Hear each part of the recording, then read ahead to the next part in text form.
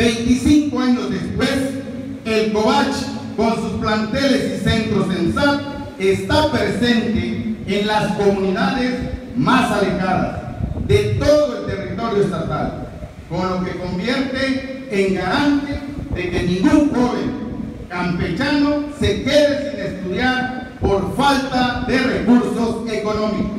Estoy segura que si mantenemos los valores que han hecho del Colegio de Bachilleres lo que es hoy en día, ese futuro terminará siendo un presente de logros colectivos, de éxitos compartidos, de triunfo. Si caminamos esa senda, estoy plenamente convencida que en 25 años seremos reconocidos como el Colegio de Bachilleres que estuvo a la altura del reto que se le puso.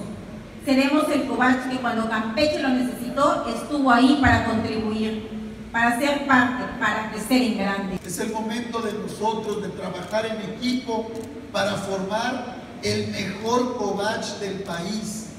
Hay que fortalecer nuestro espíritu, nuestra autoestima. Hay que tener claro que cualquiera de ustedes puede salir adelante.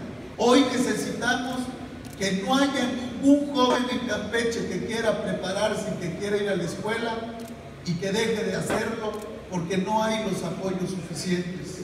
En mi gobierno, en el gobierno de Alejandro Moreno, vamos a impulsar para que todos los jóvenes en el Estado puedan capacitarse y puedan prepararse con la mejor herramienta, con los instrumentos necesarios para demostrar que en Campeche se preparan grandes mujeres y grandes hombres.